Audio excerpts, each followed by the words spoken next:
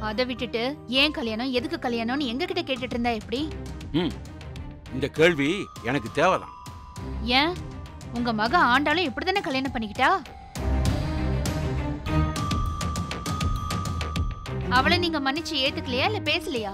அதே மாதிரி காலப்போக்கில் எல்லாத்தையும் மன்னிச்சு ஏத்துக்க வேண்டிதான் பேசிக்க வேண்டிதான்.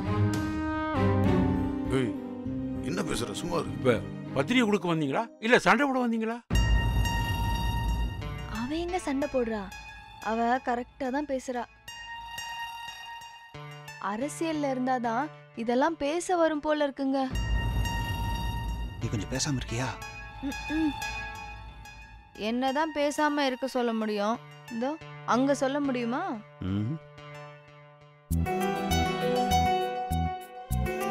ஐயா அவ பேசுறதை விடுங்க.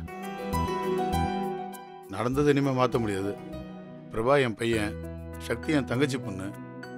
அவங்க ரெண்டு பேருக்கும் உங்கள் ஆசீர்வாதம் வேணும். நாமளும் அதுங்களை கைவிட முடியாதுல்ல? பிள்ளைங்களே நீங்கள் நேரில் வந்து வாழ்த்தணும் ஐயா. எடு.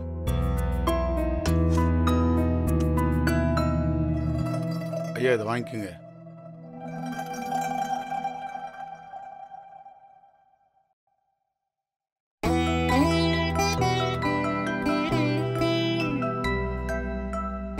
அண்ணா நீங்களும் அவசியம் வந்துடணும் மாமாவே பத்திரிக்கை வாங்கிட்டாங்க.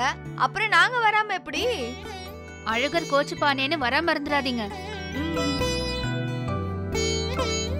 நீங்க தான் அவங்க கிட்ட பேசி சம்மதிக்க வச்சு கல்யாணத்துக்கு வர சொல்லணும்.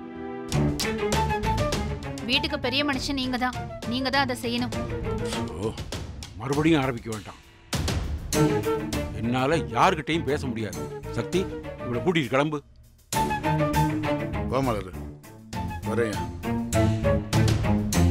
கல்யாணத்துக்கு அவசியம் வந்துருங்க. ம். வரேண்ணே. சரிப்பா.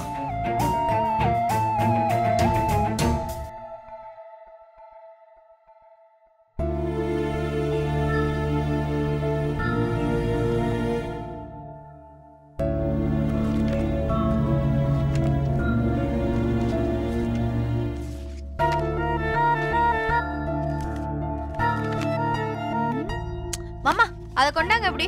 இதுல அப்படி என்னதான் அடிச்சிருக்காங்கன்னு பாப்போம்.